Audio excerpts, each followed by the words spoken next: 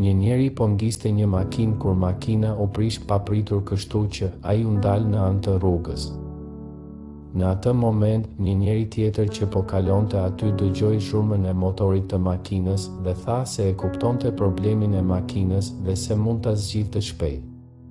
Dhe ashtu siç tha, e zgjidhi problemin me makinën menjëherë. Kush është ai person?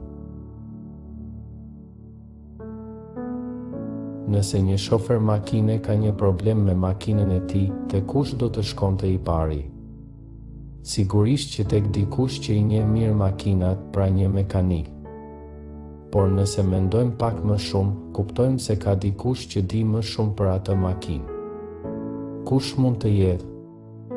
Ky është personi që ka ndërtuar makinën. Le ta zbatojmë këtë në jetën tonë. Le të themi se kemi një problem me marrëdhëniet tona ndërpersonale në jetën tonë. Pra, si përpiqemi në përgjithësi ta zgjidhim këtë problem? Shumica e njerëzve shkojnë te një psikolog ose te dikush që e ka përjetuar më parë një problem të tillë. Pra, ne përpiqemi të gjejmë përgjigjen përmes atij personi.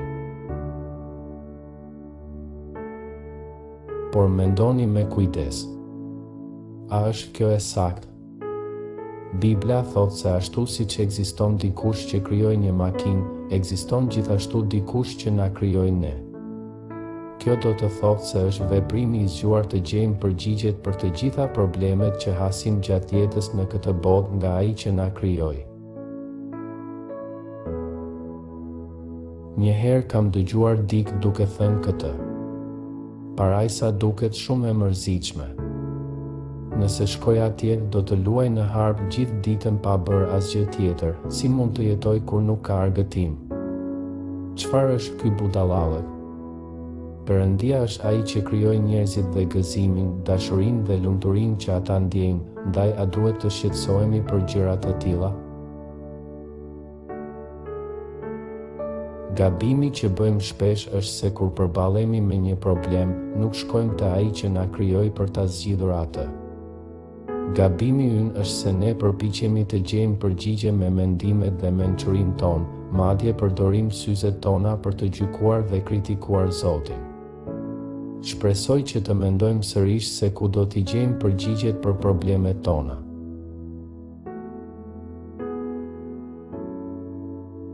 Psalmi 8 Sa i mrekullueshëm është emri yt mbi gjithë rruzullin, o Zot, Zoti ynë, që vure madhështinë tënde mbi qiejt. Nga goja e të vegjëlve dhe foshnjave në gji ke vendosur lëvdimin për shkak të armiqve të tu, për t'i mbyllur gojën armikut dhe hakmarrësit. Kur mendoj qiejt e tu, që janë vepër e gishtërinjve të tu, hënën dhe yjet që ti ke vendosur. Çfarë është njeriu, që ta mbash mend, dhe biri i njeriut, që ta vizitosh? Megjithatë ti e bëre pak më të ulët se Perëndia dhe e kurorëzove me lavdi dhe me nder. E bëre të mbretërojë mbi veprat e duarve të tua dhe vure çdo gjë nën këmbët e tij. Dhentë dhe bagëtitë e tjera, madje bishat e egra, zogjtë e qiellit dhe peshqit e detit, tërë ato që kalojnë nëpër shtigjet e detit. O Zot, Zoti ynë, sa i mrekullueshëm është emri yt në të gjithë dheun!